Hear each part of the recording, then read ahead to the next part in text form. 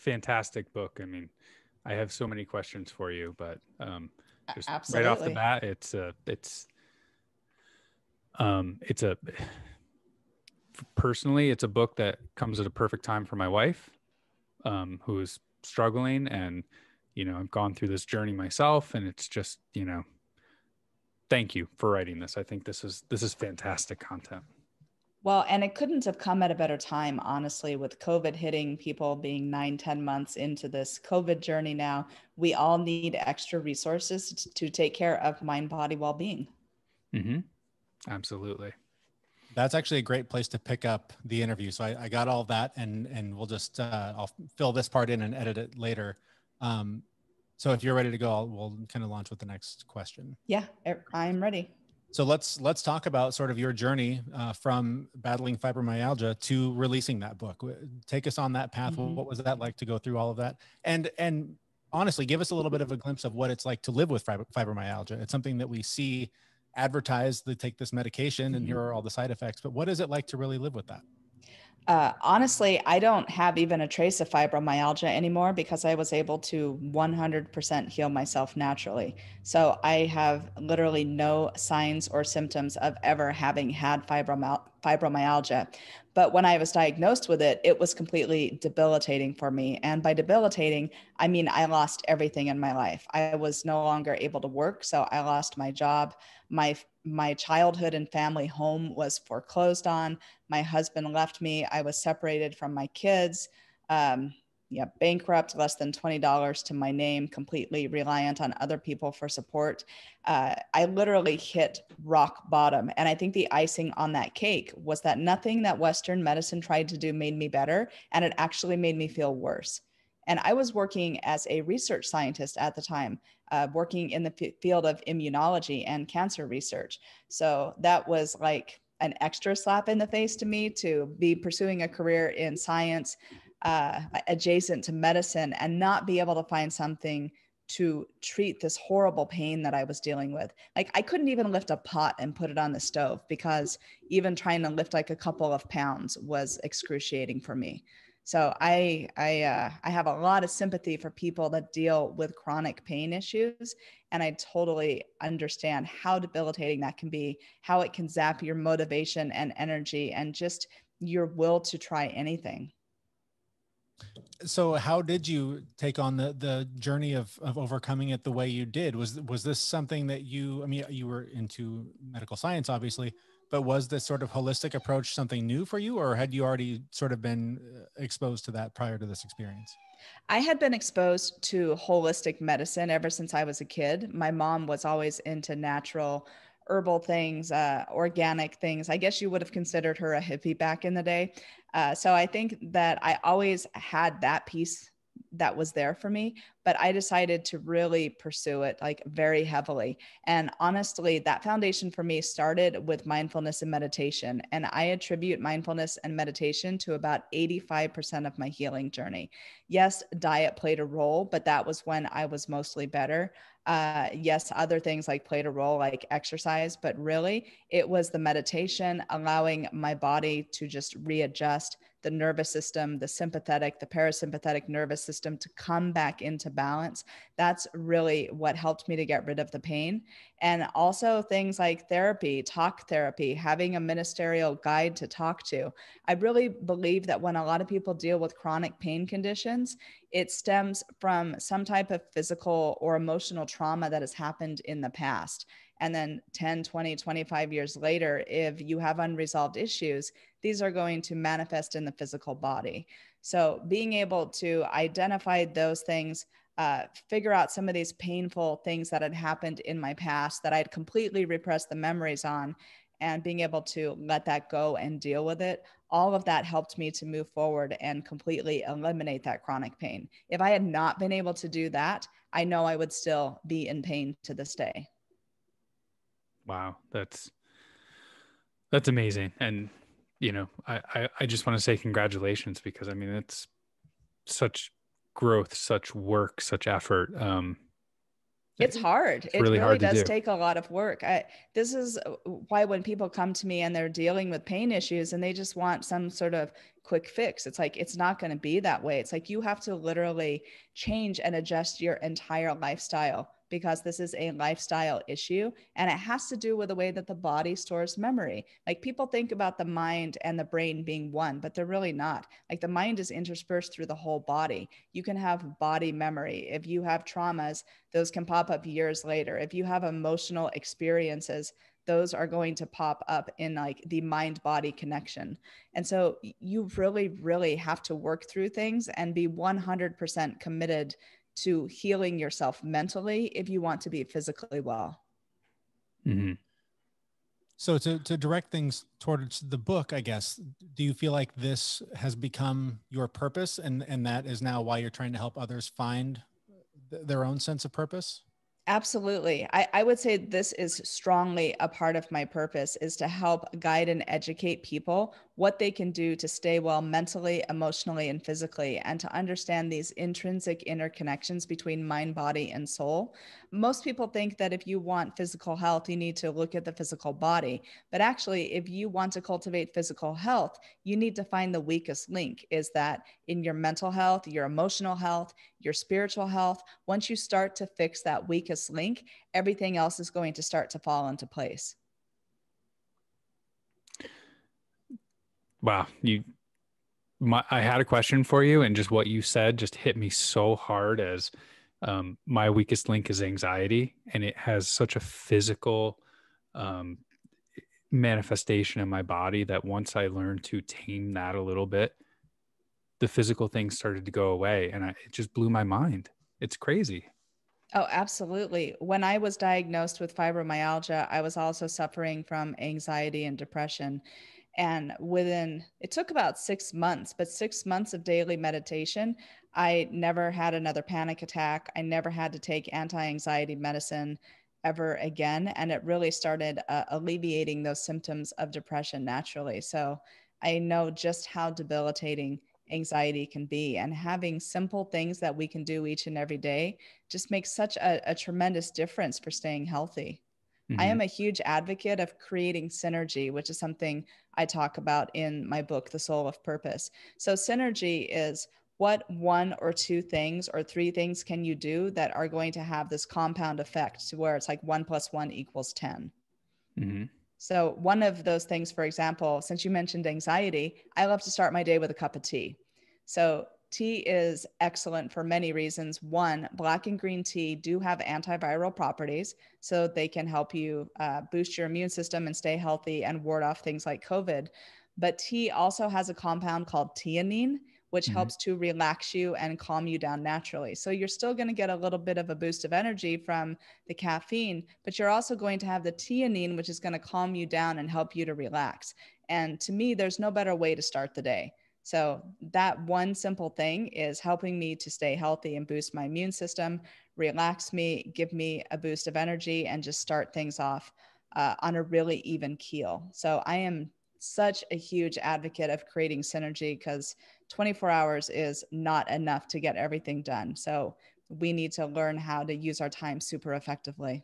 Mm-hmm.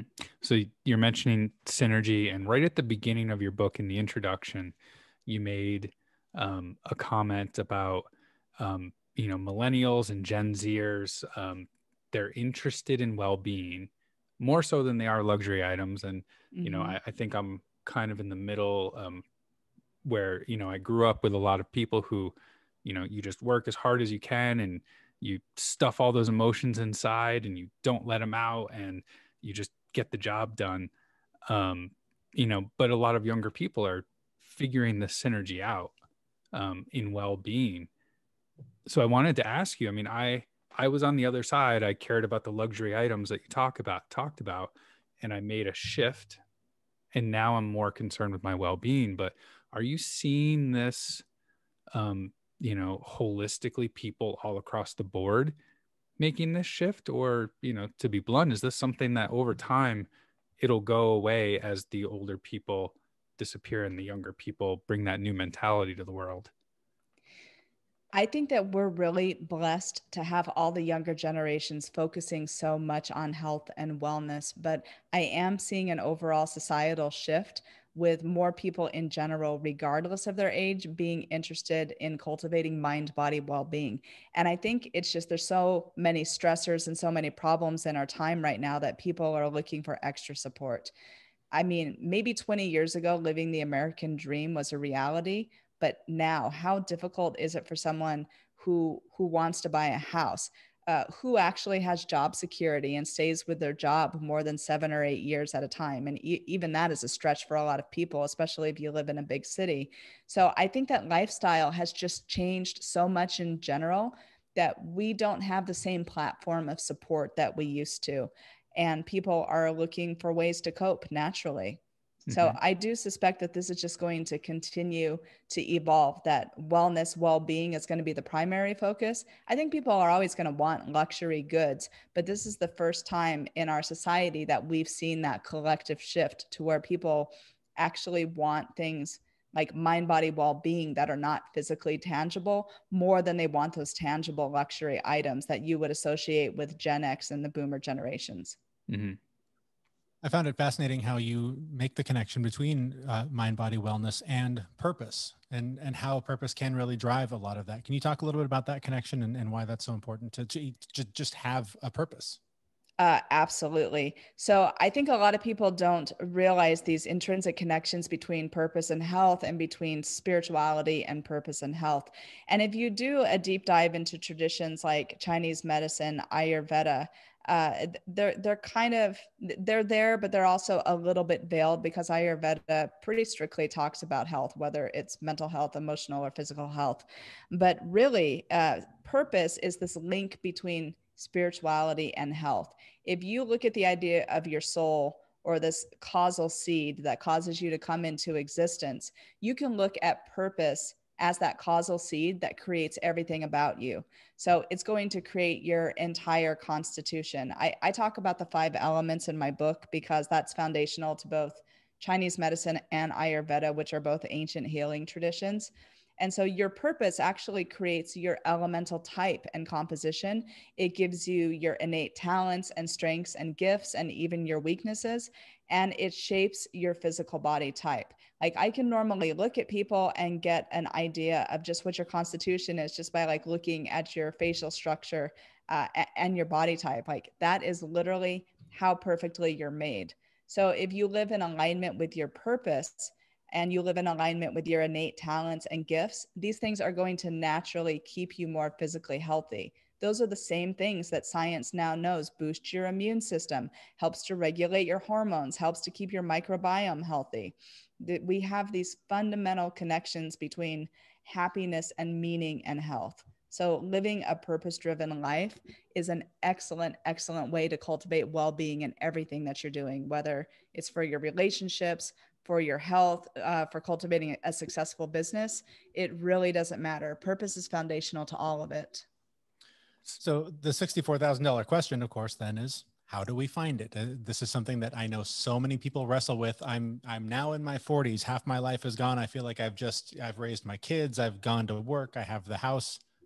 Mm-hmm. now what? So where do we where do we find that purpose? How do we discover that so i think that one of the easiest ways to identify your purpose it's twofold. It's to look at your innate talents and gifts and how those like connect uh, how those connect like to your five elemental type. So once you're able to like identify what your constitution is you can understand the the different sorts of talents and gifts that go along with those elemental types. You can identify what you're really good at what your weaknesses are once you're able to do that you can like really start to see how all the pieces connect in that like me uh, I, I'm a writer, obviously. A lot of my stuff is very earth or fire or space element, but a lot of earth and fire. So when I look at when I look at all of my attributes, it becomes easy to understand why I have pursued a career in writing and in speaking, and why I like things that are related to music, and why I like things that are tangible and tactile.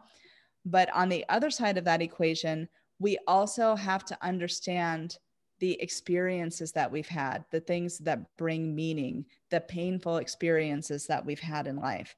Uh, that is like the other half of the equation because we are normally going to feel a drive to use our talents to make the world a better place for other people. And in particular, to help people not to suffer from the same things you have suffered from yourself.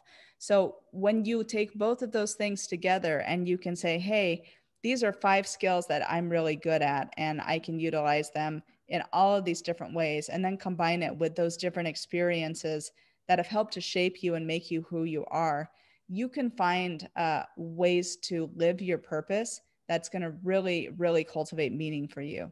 And the more that you grow, the more that you heal, the more that you resolve those uh, inner painful issues, you may find that your purpose grows and gets redefined over time as well. And that's completely natural too.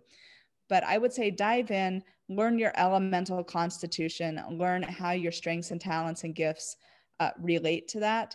That is going to be foundational way to start identifying your purpose because just by doing those things you are going to start to cultivate good health and be more in alignment with who you truly are. So it, it oh, may oh, sound like really simple and I, I don't i don't want to say like that this is really simple but it is a formula that works. If you do like the first half of the equation and then you start like to look at your life and what has brought meaning you can you can always find a way to move closer towards your purpose even if you're not able to completely shift your career like you can start to work into living a purpose driven and meaningful life. So i i have i'm i'm in. I i love love the idea. Um i just a little backstory i i i lost my purpose overnight about six seven years ago. I it was all in my job. The job went away my purpose was gone and I had to find it again. And what I struggled with and and what I, w- I would love to hear your take on it is, you know, as you're discovering your purpose, as you're as you're you're trying to find it and work through this process, there's there's going to be setbacks. There's going to be moments of um, for me specifically, you know, really really dark holes where you know a small mistake that in the grand scheme of things was not a big deal would would completely put me down into a dark hole where I wanted to give up. You know, so as people are finding their purpose and they're they're on this journey, you know, how do they how do they stay on that journey and how do they, you know, overcome some of the hurdles that come with a lot of this work which is really scary work? It is really scary work. And I think a big part of that is not putting all of our eggs in one basket and making sure that we cultivate hobbies and talents and other things that help to bring meaning and joy in life. Uh, a lot of times we can get so focused on work that it does become everything. And if we're not pursuing other passion projects on the side, like I, I do pottery, for example, I sing, I dance. If I'm not doing these things, I will be stressed out, uh, anxiety prone, and depressed. So the more that you're able to have a hobby and you're doing it consistently, something that you enjoy, it's actually going to help you be more focused when you are actually at work and doing your job. And so this is uh, this is the same with anything. I would say make sure that you are using your time well, that you're doing things that you enjoy. Uh, I, I hope that everyone enjoys their job. We don't all enjoy our jobs, and especially if you don't, make sure that you are taking extra time to compensate for that, like with having some hobbies and talents but it a little it literally allows those other parts of your mind to like reset and come back into balance because you can't use that same muscle all the time whether it's your your physical muscles or like your mental muscles. You need to give them a break and go do something else for a while. That is going to help you to not get burnt out and to if one thing goes wrong you're going to have all of that other stuff there to help you feel supported and there's a lot of science in that. Uh, the mind really craves consistency. So the more that you can con- cultivate consistent routines like throughout your day, uh, you are going to have that as a platform for your mental health and well-being. So if one thing goes wrong, hopefully you're going to have eight or nine other things that that like you're doing throughout the course of a day or a week that are going to help to keep you mentally stable and happy. Mm-hmm you, you you threw me off my question too and it's two parts um, but i think they, they may be connected and, and one is about that routine. I notice for myself uh, when i do I, I know what routine works for me and when one piece of it falls out it's much harder for me to, to go oh well the next step is just do what you would normally do. Now it's more i'm more inclined to say well that's out the window. There goes the whole day mm-hmm. i think a similar thing applies to i've, I've heard you talking a lot uh, in the last few weeks or, or seen um, writings from you about new year's resolutions we, we are at the point where pretty much everyone's probably given up on them by now that's how true. do we overcome that that pull to just give up when something goes wrong or something isn't working the way we want it to and and i think the other part of my question is as you're doing this deeper work about you know who you are and how it ties into your purpose that can uh, I, I, think there for me anyways there are a lot of voices that are the negative ones that are the dark ones that say well you don't deserve a purpose or you're you don't have a talent. You don't have something you're passionate about. So it's, it's sort of these negative forces that that pull us away from the things that a lot of times i think we know what we're supposed to be doing. How do we overcome those? Everyone's going to have those negative voices in your head but you also are always going to have positive voices in your head because everyone has a purpose, everyone has a reason for being alive, and everyone has their innate talents and strengths and gifts, just like everyone has weaknesses associated with them. You literally cannot be born or be a human being if you don't have some form of talent or purpose or reason for being here. So your journey is to find your purpose. And yes, most of us have forgotten about our New Year's resolutions and not stayed with them. And it's because we have this all or nothing mentality behind it. Like, oh, I messed this up for a couple days. Therefore, I'm just not going to go back and do this. Well, being successful is never about perfection. And that is this huge flaw in like the Western mindset that to be successful, you're going to be perfect. Well, successful people are the people that fail and fail often and get up and try again and keep going. So I would say try to get away from that all or nothing mentality. And if you miss a day on your workout, just be like, okay, I missed a day on my workout. Now I, am going to go and I'm going to fix that the next day.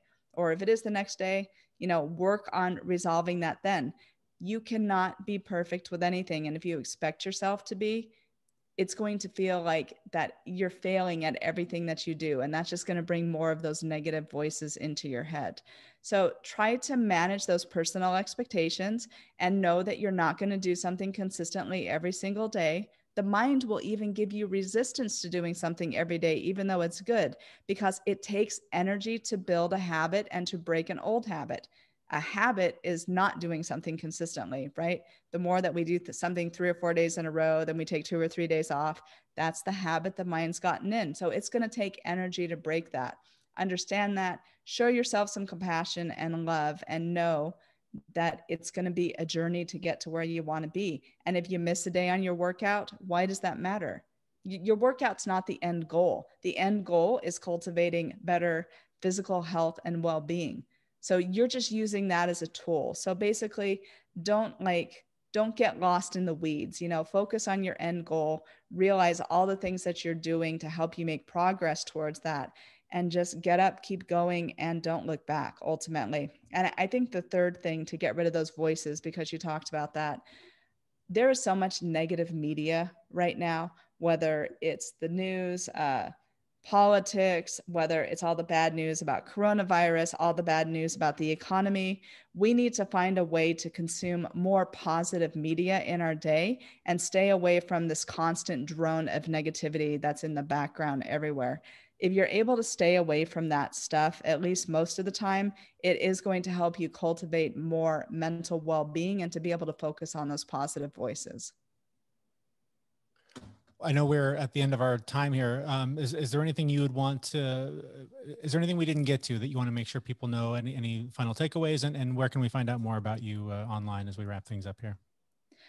I think the most important thing that I want people to know is that there is an intrinsic connection between your spirituality, your purpose, and your health. And if you want to cultivate better physical health, mental health, emotional health, really you need to start with a platform of mental health and emotional health like these things are your foundation for success with everything else like do not neglect them in your journey do not neglect eh, your spirituality or your religion however it is that you identify with yourself or a higher power or whatever you call that this is all super duper important to being your best possible self. So don't neglect these seemingly little things because they're not little and find your purpose. That that's one of the most important things that you can do in 2021 to make your life better.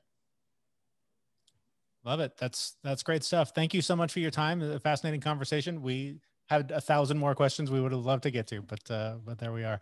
Thank you so much. We'll get this posted uh, probably in the next week or two, and I'll send you an e- email with the links and everything. Sounds great. And thank you so much for having me. I really appreciate it. Yeah, thank you. Yeah. And, and great work on the book. Thank you. And right. let me know